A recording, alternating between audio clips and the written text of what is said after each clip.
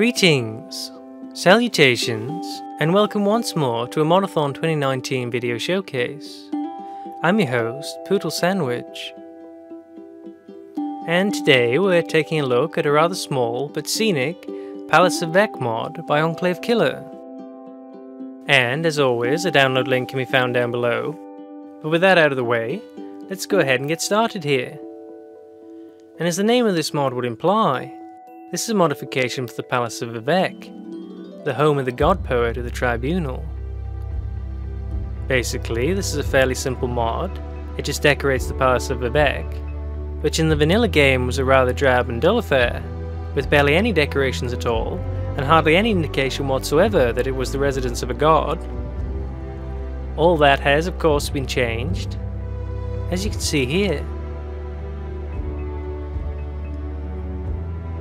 No longer an empty chamber with nothing in it.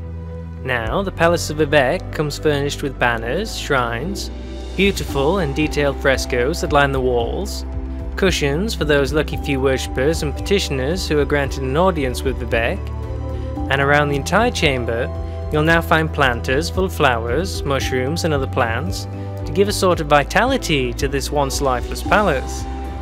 You'll even find offerings scattered about before Vivec, clear signs of the devotion of the faithful populace. Overall, this is a beautiful and vanilla-friendly redesign of a once barren chamber completely devoid of detail, but with this excellent mod, that's no longer the case.